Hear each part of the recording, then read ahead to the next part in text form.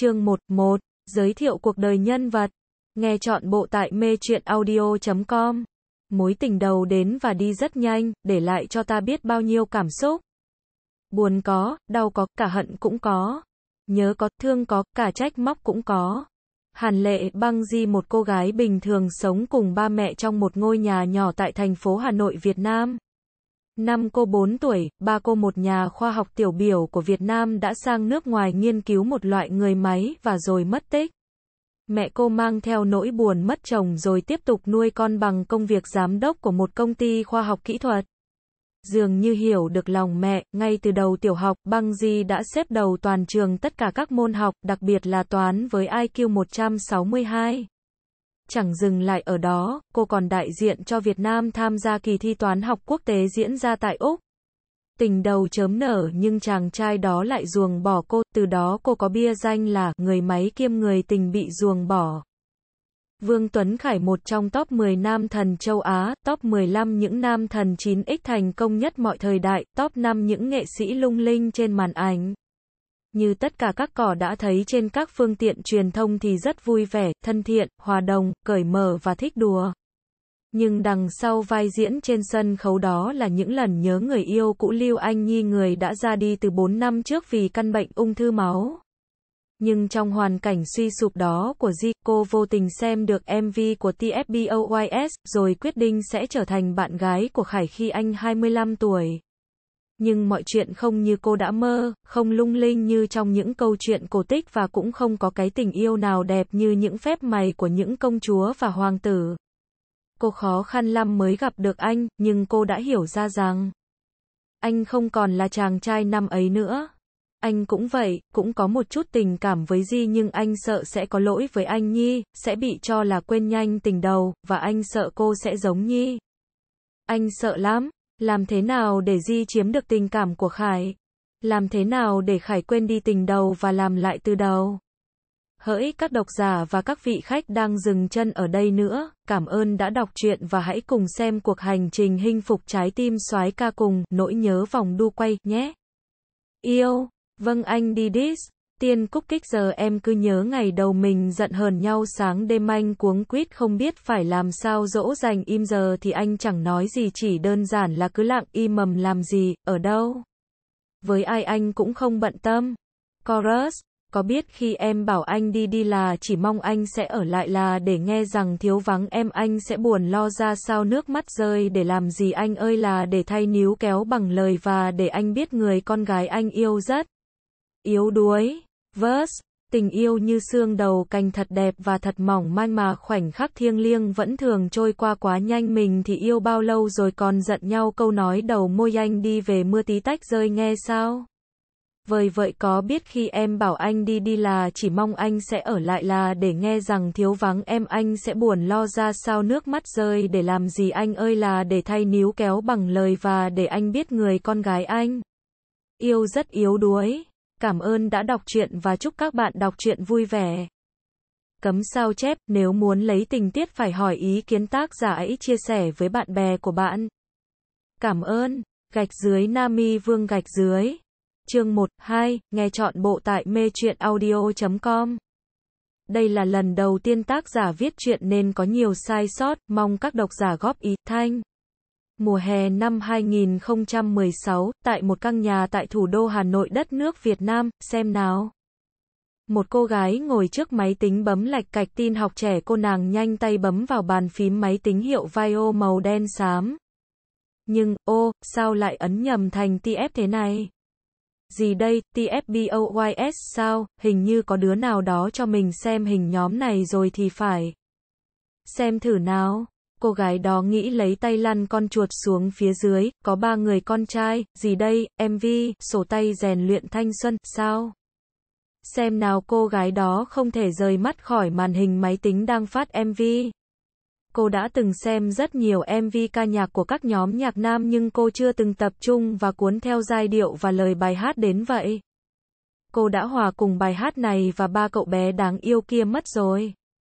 Khi hết MV, mắt cô vẫn vậy, nó vẫn không tin vào tất cả những gì cô vừa nhìn thấy, cô vẫn chưa tin rằng, cô vừa xem một MV của một nhóm nhạc đang quấy động nền showbiz của thế giới. Thử hỏi làm sao cô tin nổi chứ? Mắt cô vừa nhìn sao? Tai cô vừa nghe sao? Tại sao cô lại không nhận ra thế này? Cô biết điều đó nghĩa là gì không?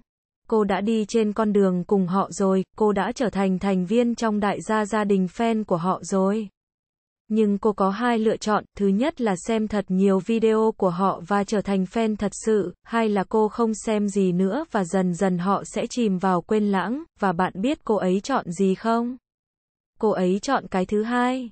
Đúng, trong khi cô đang vô vực thì tiếng chuông vang lên, đánh thức lý trí lẫn trai tim cô gái. Cô nhấc máy, đi chơi không? À, là bạn trai của cô gọi, cũng có thể nói là như vậy hóc. Đợi em một chú, gặp nhau ở công viên mặt trời nhé, cô nói ừ, cũng được. Vậy 30 phút nữa gặp nhau, anh ta nói vâng. Cô đáp gập màn hình xuống, cô quyết định rồi, cô sẽ quên họ, ít nhất là như vậy. 8 giờ 30, công viên mặt trời, thời tiết đang rất nóng, tầm 38 độ gì đó. Cô năng động bước chân vào cổng cùng người con trai kia. Cô và anh bước vào trong công viên, cô đang rất vui, vì đơn giản cô đâu biết được chuyện gì sắp xảy ra. Và nó sắp xảy ra rồi, chờ đi. Anh à, chúng ta đi xem phim đi, cô đề nghị ừ, anh tươi cười cô và anh bước vào dạp chiếu phim, cô và anh xem một bộ phim hài hước tình cảm. Ha ha ha, cô cười rớt nước mắt lua còn anh chỉ biết nhìn cô mà tủm tỉm cười, chắc cô đẹp lắm, đẹp lắm ý, anh yêu cô lắm nhỉ. Chắc là như vậy. Sau bộ phim hoa bộ phim hay quá, em chưa từng xem một bộ phim nào hay như vậy, cô nói và cười với em nhầm thích vậy à, anh hỏi và hơi nhếch lông mày lên vâng, lần sau chúng ta xem tiếp nhé. Em thì được, nhưng anh thì không được rồi, anh nói là sao, cô nhíu mày anh bận đi chơi với Thiên Kim rồi, anh ta thản nhiên nhắc tới tên một cô gái ngay trước mặt cô. Thật khốn nạn là bạn gái mới của anh. Chúng ta chia tay nhé. Tạm biệt em, anh và cô ấy sẽ sang Pháp. Đừng tìm anh, anh nói ra và bước đi Lý Tiểu Kha, anh nói cái gì? Cô hét tanh ta cái anh tên Lý Tiểu Kha đó không nghe lời cô. Giọt nước mắt rơi lã chã trên mặt đất. Cô thù hận anh, anh rồi sẽ phải chết. Chương 2, nghe chọn bộ tại mê truyện audio.com. Mùa xuân năm 2018, tức là 2 năm trôi qua, cô thật sự đã quên họ, chắc bạn cũng biết họ là ai rồi phải không? Cô ngày ngày chìm đóng trong sự đau khổ cùng với mỗi tình đầu kết thúc một cách nhanh chóng. Một ngày vào mùa xuân, tại ngôi trường cấp 3 Gini, Cô ngồi trong lớp, đôi mắt buồn rầu hướng ta ngoài cửa sổ. Cô thầm nguyền rủa người con trai kia. Cô ghét anh, cô hận anh, cô muốn giết anh người con trai hiện đang ở Pháp một đất nước lạnh giá với những bông tuyết rơi cùng đôi uyên ương đáng xuống địa ngục. Ê cô giật mình hướng mắt theo tiếng gọi, là con bạn thân của cô Hoàng Anh, đừng bảo con gái không được tên Hoàng Anh nhá, cậu bao nhiêu tuổi rồi, trừ 17, tất nhiên là bằng tuổi cậu rồi. Cô nói công bé lấy ghế ngồi cạnh tôi, trường tôi mỗi người ngồi một bàn. Đừng giàu dĩ nữa, dù sao thì thằng chết bầm đó cũng đi rồi, con bé an ủi cô đừng thương hại tớ. Cô đứng dậy, bước ra khỏi lớp để lại cái nhíu mày của Hoàng Anh. Cô bước xuống canteen, cô quyết định sẽ ra nước ngoài du học, một phần vì muốn kiến thức tăng thêm, một phần vì muốn quên đi quá khứ kia. Vào quầy đồ ăn, lấy một ít súp và lon nước cam, cầm khay thức ăn, cô tiến thẳng ra chỗ ngồi gần cửa sổ. Đây là một cái bàn màu trắng, phía trước có một cái máy tình bằng cho học sinh nghịch. Cô đưa tay chạm vào nút công tác. Cô lên Facebook, nghịch một lúc thì, này. Cô giật bắn mình, quay lại phía sau. Lại là cậu à, Hoàng Anh, cô nói ừ, sao vậy? À cô có gì? Xem gì vậy? Con bé hỏi à, chỉ là lên phây nghịch chút thôi cô trả lời ừ, ấy, tớ cho cậu xem cái này, đây là MV đang đứng đầu tất cả các bảng xếp hạng đó. Hoàng Anh nói, TFBOYS chính em, Hoàng Anh ấn vào chiếc máy, còn cô ngồi ăn. Này xem đi cô ngước mắt lên, quen không? Cô tròn xe mắt, dừng tất cả lại. Cái cảm giác y hệt cái cảm giác lần đầu cô nhìn thấy MV của họ. Cô nhớ ra họ rồi. Đây là các anh mà, thật không ngờ là lại được gặp các anh trong hoàn cảnh này, cô nghĩ mà muốn bật khóc, sao? Thích rồi hả? Hoàng Anh hỏi cô tỉnh lại, tắt MV đi. Nói một câu rất liên quan. Cậu ra chỗ khác đi. Hoàng Anh tròn xe mắt, con bé bước ra khỏi cái bàn của cô. Đến từ TQ, hay mình đi du học ở đó đi, hiện tại Khải ca đang 19 tuổi, vậy đến lúc anh ấy 25 tuổi mình. Mình nhất định sẽ phải trở thành bạn gái của anh ấy, cô nghĩ và lao thẳng đến phòng đừng đồ của khối 11, lập tức thông báo cho mẹ của cô bía thai năm sau. Những hành khách trên chuyến bay Việt Nam sao sao sao đi Bắc Kinh, Trung Quốc, xin vui lòng đến cửa số 9 để chuẩn bị khởi hành. Xin cảm ơn và chúc quý khách có một chuyến bay vui vẻ, giọng cô tiếp viên vang lên cô tạm biệt mẹ, bạn bè và lên giường đi du học, à không, cũng không hẳn là đi du học. Đi tìm tình yêu thì đúng hơn, ở một biệt thự nằm giữa thành phố Bắc Kinh, TQ. Soái ca của tiểu bàng giải đang trong phòng ngủ. Khải bật dậy, lên cỗ tủ quần áo, lấy tấm di ảnh của 4 năm trước. Nhìn vào tấm ảnh đó, bất giác một giọt nước mắt rơi xuống, nói. Anh nhớ em, Lưu Anh Nhi, anh ôm lấy tấm ảnh đó, khóc nức lên, anh Nhi đã rời xa anh mãi mãi, là mãi mãi. Anh căm hận căn bệnh ung thư máu đó, nó đã cướp đi người mà anh yêu thương nhất. Tuy vẫn còn fan bên cạnh, giúp anh đỡ đi phần nào những nỗi buồn, nhưng nó vẫn còn đâu đó, trong tim anh và đôi khi nhói lên một cái, âm thầm đâm hết nhát dao này đến nhát dao khác khiến tim anh dỉ máu. Đó là những giọt máu của nhớ nhung, của yêu thương, và cũng là của trách móc. Nhớ lại năm xưa, anh lại càng ghét cay ghét đắng câu nói, em không sao, của Nhi. Chỉ vì một từ cô sao đó thôi mà tình yêu giữa hai người chấm dứt. Cái nỗi đau đó đôi khi anh tưởng mình đã quên được Nhi, nhưng càng cố quên, anh càng nhớ rõ, nhớ rất rõ nụ cười đông điếu của Nhi, răng khảnh trái đáng yêu của Nhi, sự trong sáng. Tốt bụng như thiên thần ấy của Nhi. Làm sao anh quên được em chứ, Tiểu Nhi? Tác giả, cho biết một chút cảm nghĩ về chuyện nào, cần lắm một vài cái nhận xét, tuy chỉ mới có. Chương 3, nghe chọn bộ tại mê truyện audio.com. Sau chương này có nội dung ảnh, nếu bạn không thấy nội dung chương, vui lòng bật chế độ hiện hình ảnh của trình duyệt để đọc. Nhưng Tuấn Khải, 4 năm đã trôi qua, là 4 năm đó. Anh nên nghĩ lại đi, nên quên cô ấy đi. Thiên tỷ từ ngoài bước vào Tuấn Khải quay qua nhìn người em trai của mình, phút chốc giận dữ với con mắt đỏ ngòm. Quên, em nói quên là quên dễ dàng vậy sao? Em, em còn có người để yêu, để thương, còn anh, còn anh, người anh yêu thương che chở, đùm bọc đi đâu rồi? Anh đi đâu để tìm cô ấy bây giờ hả, thiên tỷ? Em có hiểu thế nào là xin lỗi, là cảm ơn, là nói anh yêu em là thế nào không? Và em cũng có hiểu cái cảm giác người mình yêu nói không sao và rồi ra đi không? Anh hận chính bản thân mình đã không bảo vệ được cô ấy, em có biết không hiên tỷ, khải hét nhưng cô ấy đã đi rồi và đó là sự thật, thiên tỷ nói và bước ra ngoài phải, Lưu Anh Nhi đã ra đi. Và là ra đi mãi mãi. Một tuần sau, băng di nhập học tại trường Đại học Sư phạm Bắc Kinh. Xin chào mọi người, tôi là Hàn Lệ băng di du học sinh Việt Nam, mong tất cả mọi người giúp đỡ. Di cúi đầu Di, mời cô về chỗ ngồi, chúng ta bắt đầu bài giảng. Tôi là Tâm Anh giáo viên sẽ đào tạo mọi người môn toán cao cấp.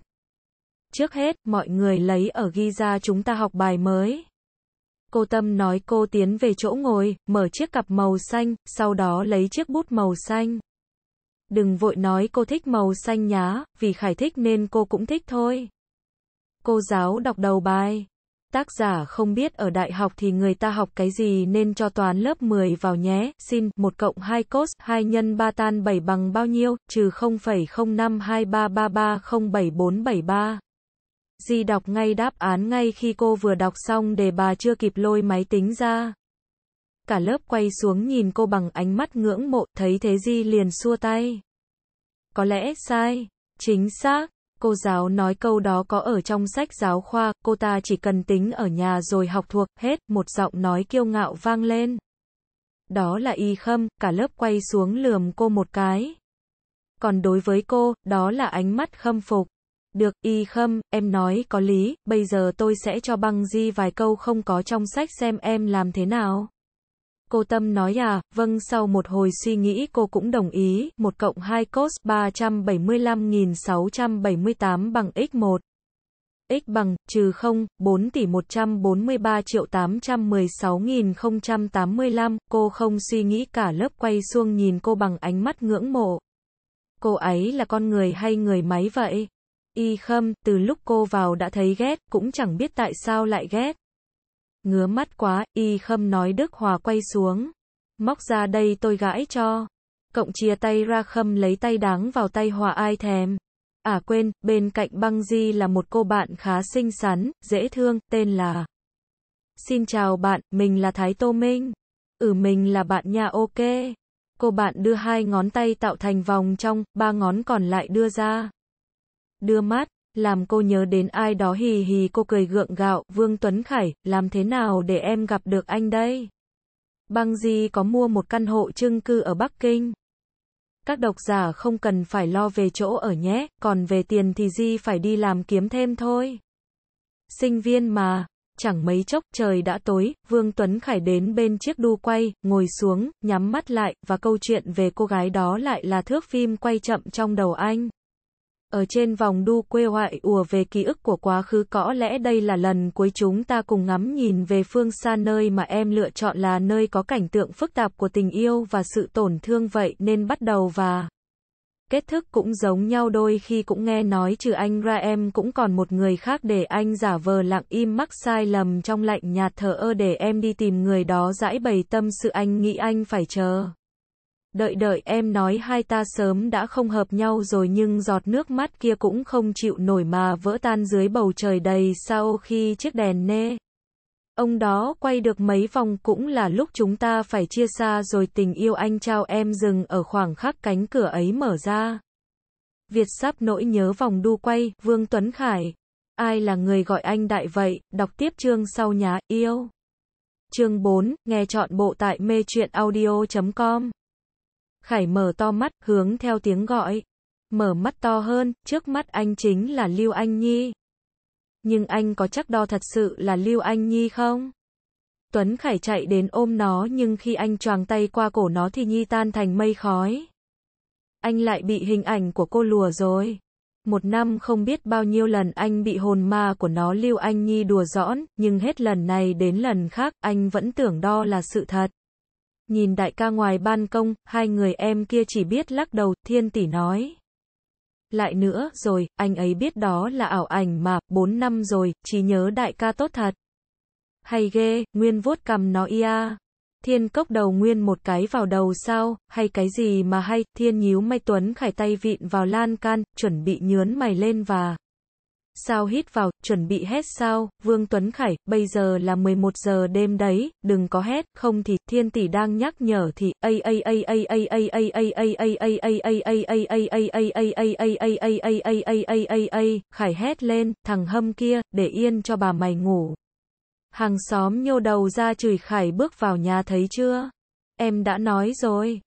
Thiên tỷ trách móc hai đứa đi ngủ đi Khải nói và chuẩn bị bước vào phòng sắp có một bộ phim hợp tác giữa Trung và Việt, đạo diễn Hồng Đào mời anh tham gia, Tiểu Khải ạ.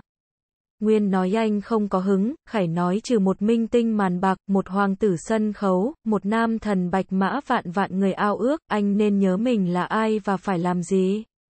Nguyên nói anh đã nói là không có hứng mà, Khải bắt đầu tức giận và quay lại lườm Nguyên. Nhưng Nguyên đây không sợ nhé, cậu đã lường tước được huyện này sẽ xảy ra và đã tập đối diện với cơn giận dữ của Khải rồi.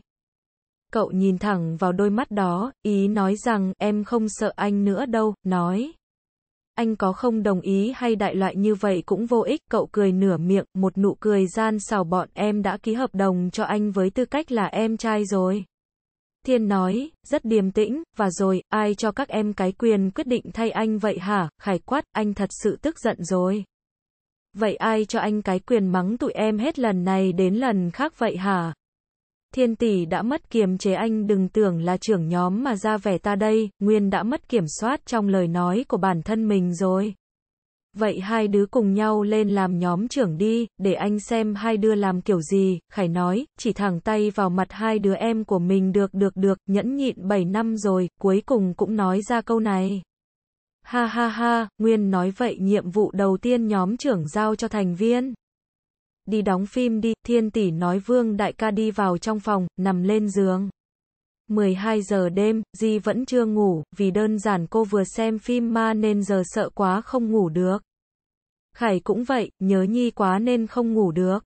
Rồi sau đô, mẹ hỏi thăm cô, và nằm xuống giường, cô hết sợ ma rồi vì ma làm gì có thật. Cô nhắm mắt lại, cô bắt đầu giấc mộng đẹp. Trong bóng tối, cô bắt đầu thấy một mảng đen và bỗng từ đâu xuất hiện một cô gái mặc một chiếc váy màu trắng, cô chạy đến bên cô gái đó, thật sự là một mỹ nhân nha. Hai má núm đồng điếu đáng yêu, chiếc răng khảnh trái thêm sự trong sáng và tốt bu nghên của cô gái khiến Di nhận ra đây là người tốt. Xin chào, tôi là Lưu Anh Nhi cô gái đó nói hả, cô là, là. Di sốc nặng vì cô cũng tìm hiểu về việc em gái kê y nghĩa của Khải Lưu Anh Nhi đã mất cách đây 4 năm vì căn bệnh ung thư. Ngồi đi, Nhi nói và ngồi xuống. Ngay lập tức mặt đất biến thành đồng cỏ xanh mướt. Di cũng ngồi xuống tôi tưởng cô đã, Di cả Lam nói phải, tôi đã mất. Trước kia, tôi với người cô đang yêu thầm là một cặp. Nhi nói và nhìn về Phu Anh sang người mà tôi đang yêu thầm. Tuấn Khải sao? Di chỉ vào mình nói ư không, không thể nào, Tuấn Khải nói chỉ là em gái kết nghĩa thôi mà Di đứng lên để tránh xì căng đan tình cảm. Nhi cũng đứng lên vậy tại sao cô lại nói với tôi mà không phải là ai khác, tại sao lại là tôi, Di hỏi, thật là, đầu cô bây giờ dối như cái màn hình tivi bị ruồi bâu rồi. À vâng, sắp sinh nhật Vương Nguyên, nội dung chuyện dài 888 chữ, 8 là số may mắn của Vương Nguyên, há há.